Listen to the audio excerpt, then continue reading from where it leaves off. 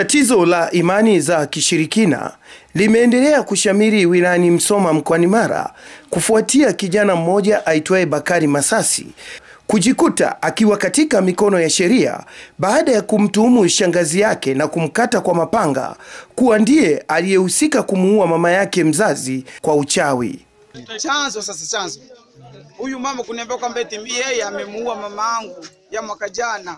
Mama yangu mpaka leo hii ana mwaka mmoja. Wakizungumzia tukio hilo, baadhi ya majirani wa familia hiyo wanaeleza kuwa walisikia kelele kutoka katika mji huo na walipofika walimkuta kijana huyo akitenda uharamia huo. Wakati napita hapa nilimwona huyu kijana akiwa anampiga yule bibi.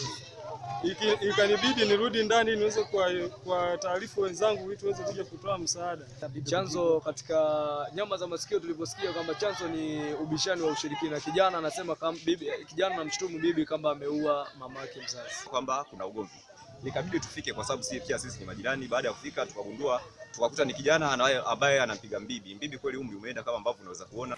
Kutokana na kushamiri kwa matukio hayo, mwenyekiti wa kamati ya ulinzi na usalama katika wilaya hii imemlazimu kuketi na wakazi wa mtaa wa Songe ili kuweza kutatua tatizo la wanafunzi wa kike katika shule ya sekondari ya wasichana ya Songe kuingiliwa kimwili kwa njia ya kishirikina. Nilishtukia kama niko usingizini naota mtu amekaa kitandani kwangu.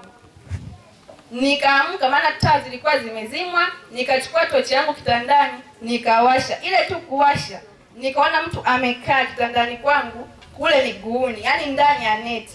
Na anapokuwa anaingia bwenini anafanya kazi gani? Anapofunua wanafunzi anawafanyia kitendo gani? Tunataka kuelewa ni kitu gani anakuja kufanyia huku bwenini. Nikaona kijana amenisimamia akiwa uchi.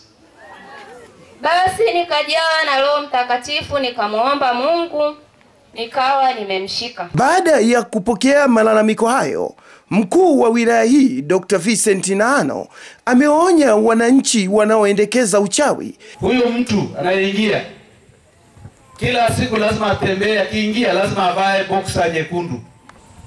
Hii tabia lazima iishe.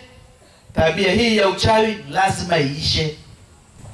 Tabia hii inajumlishwa na tabia za roho mbaya, tabia za kikatili. Sadiki Unga, Star TV, Mara. Bofya kitufe cha subscribe kisha gusa alama ya kengele kupata taarifa za Star TV muda wote wakati wowote.